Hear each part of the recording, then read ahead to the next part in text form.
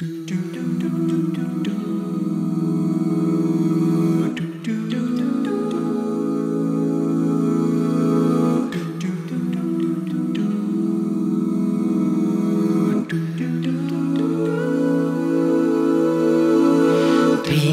thou my vision, O Lord of my heart,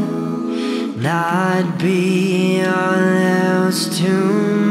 say that thou art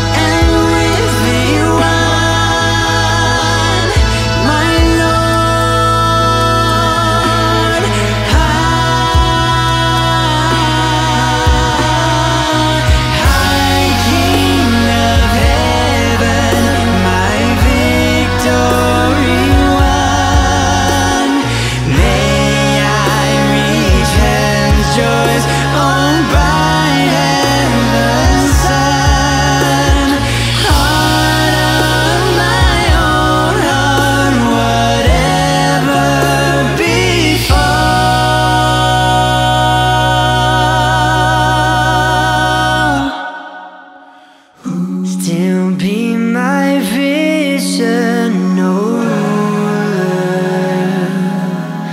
of